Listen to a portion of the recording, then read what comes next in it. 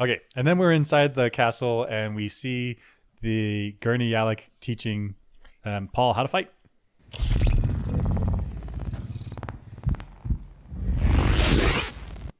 Okay, so the the shield, if you swing your blade quickly, it bounces back blue, and if you go in slowly, it comes through red, and then you can actually attack someone. Yep. I I get it, I get it. So like, if you have something fast, it bounces off. That's great, super cool. The guns don't work. Okay, cool, cool. But what I don't understand is how does this actually translate into like harming someone? Because you can't like you can't like thrust at them because then the shield shield bounce off. So then you got to like slice people, but you can't slice fast because then the shield should stop it. So you like you press your blade into them and then like slowly pull. Like is that how this combat works? So, so I guess you want to get to the edge of the shield fast, and then once you're at the shield, you want to move slowly. So so, So it's you- like a it's like a fast strike, and then when you get to the shield, Right. you can't be fast anymore because you'll bounce. So you like you go fast and then slowly in. Yeah, and you want to move as you want to move in slowly at the fastest speed possible. So it's Right. fast to the edge, and then as fast as you can in, and then stab. So like you push instead of like letting it glide slowly. Like you get in, but so the shield only stops things from the if it's fully outside of the the shield. You're saying once you're once if the sword has penetrated through the shield and it's in red mode, can I now thrust at full speed? God damn it. okay. Yep. Cool. Yep. I mean, and- So, but my or do I have is, to continue at the slow speed? Yes, this is exactly what I thought. Because here, like in the palm of Paul's hand, yeah, Mm-hmm. the sword's through the shield.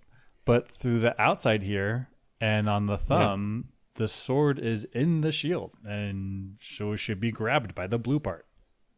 Yeah. So if you tried to if you tried to move it lateral like side to side here, it would it would it, would it be able to move side to side quickly, or would it be like moving against the blue? Right. Like shoving your hand into oobleck. I don't know. The, the know, like like molasses or something. Yeah, yeah, yeah. It would just be really that's much more reasonable. Yeah. Yeah. right. So then, how does this actually translate into combat? Like, I just need a poison tip my blades, I guess. Like, I guess. Yeah. Oh yeah. I was thinking you you still want to use guns. I was thinking. so you you you you do high mass projectiles at people. okay, It it hits the shield, cannot penetrate, bounces off. And the shield shields the person from the large mass, but the acceleration internally scrambles them.